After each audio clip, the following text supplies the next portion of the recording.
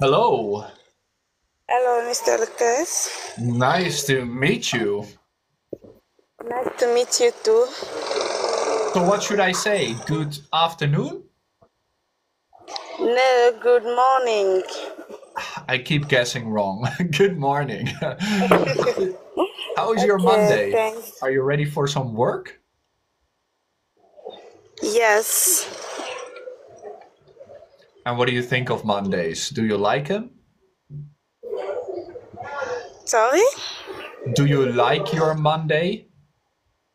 Yes, I like it. That's good. So, you must have a job you enjoy. yes, I had the job, but right now I take my break.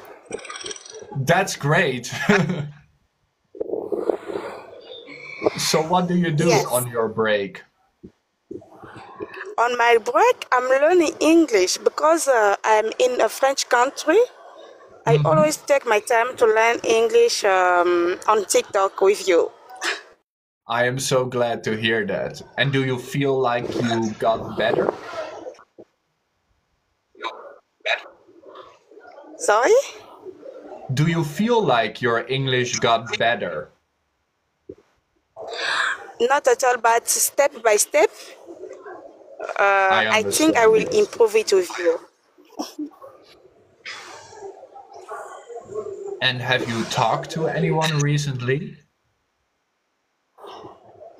Yes, I have some friends. I talk to them uh, in English. I try. Trying is all you can do. Very good. Do you still think it's difficult to speak out? No, I believe that with you I will speak better.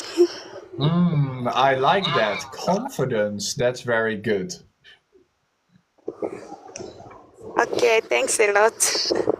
Of course. And may I just ask, what do you think is the most difficult?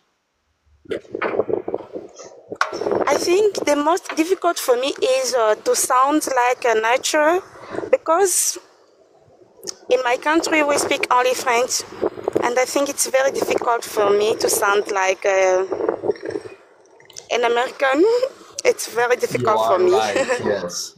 The French accent is one of the hardest ones, I would say, to take away. But it's okay, because I can understand you and you can be fluent, even if it's not perfect American. okay, thank you. I'm It's very glad to talk to you.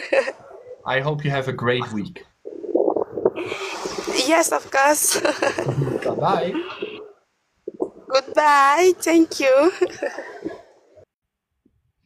How kind, Prishka, great job. Absolutely. You can hear the French accent, but her voice is great. You understand her, right? Even though she has the accent, her English is very good.